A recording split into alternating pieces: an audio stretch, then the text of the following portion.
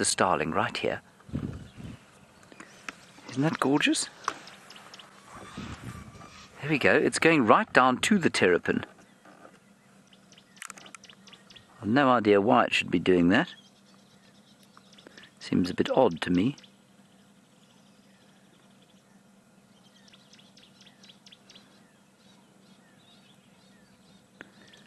Isn't that colour gorgeous?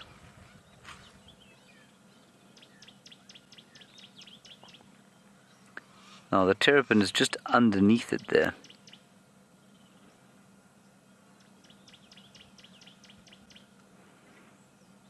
Hmm.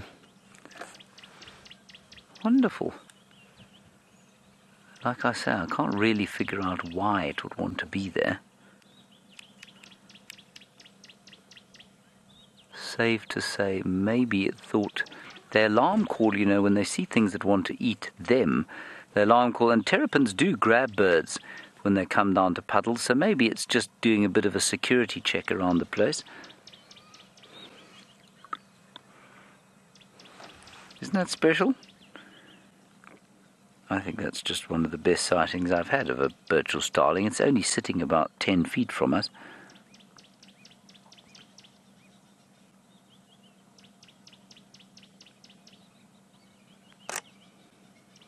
Hmm.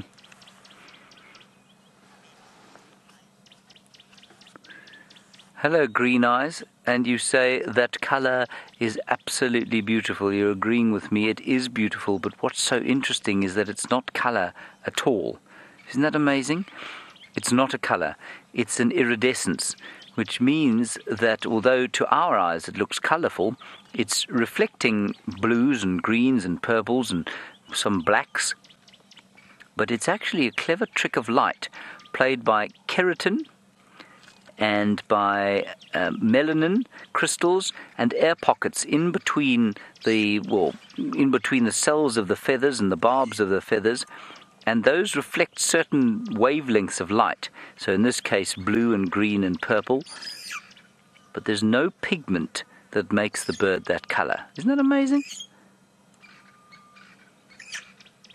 Now it is uh, doing its best to sing for us a New Year's song, but a Burchell starling doesn't have the best voice in the world, I'm afraid.